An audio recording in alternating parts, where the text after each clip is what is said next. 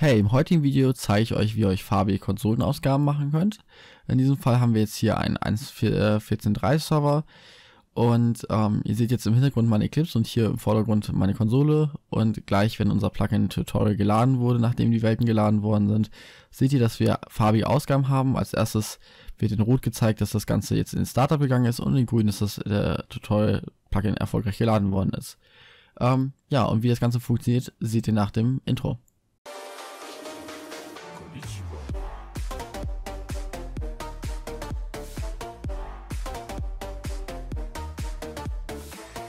So, und nun möchte ich euch zeigen, wie ihr das Ganze implementieren könnt. Also, ähm, ihr wollt ja in diesem Fall farbige äh, Comment-Ausgaben machen, dementsprechend müsst ihr einmal ein Console Comment Sender implementieren. Console Comment Sender, Sender. Und das ist in diesem Fall, äh, ziehen wir den von bucket.get Console Sender. Das heißt, damit ziehen wir sozusagen die Hauptkonsole her. So, und jetzt können wir halt einfach hier in diesem Fall Sender.sendMessage machen. Und in diesem Fall können wir die halt farbig machen. Zum Beispiel jetzt hier, ich mache das jetzt mal mit C, äh, 4.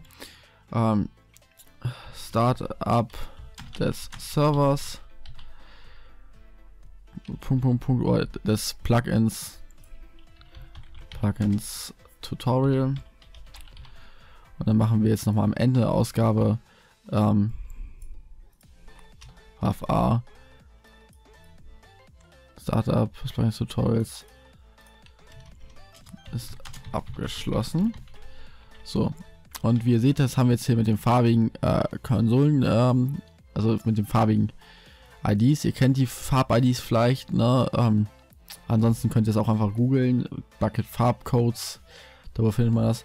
So, und ähm, wie das Ganze nun funktioniert, seht ihr jetzt gleich. Ich starte jetzt einfach mal die Konsole. So, nun befinden wir uns hier in der Konsole. Wie ihr seht, das ist ein outdated Bild. Dementsprechend habe ich jetzt 20 Sekunden Zeit, bis das Ganze effektiv starten wird.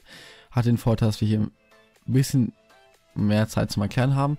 Ihr seht, der Server startet jetzt und jetzt müsste gleich, wenn das Plugin geladen wird, das müsste nach der Welterstellung passieren oder vielleicht schon gegebenenfalls vorher. Es kommt darauf an, je nachdem, wann der Teil geladen wird, aber an sich grundsätzlich immer zum Schluss. Müsstet ihr gleich sozusagen diese farbigen Ausgaben sehen. Seht ihr jetzt in diesem Fall, jeden Augenblick müsste jetzt genau jetzt passieren. Startup des Plugins Tutorial, Startup des Plugins Tutorial ist abgeschlossen. Und so könnt ihr dann prinzipiell halt eure eigenen farbigen Ausgaben in der Konsole machen. Ihr könnt damit natürlich ganz große Sachen machen und natürlich euer Plugin fällt deutlich eher auf.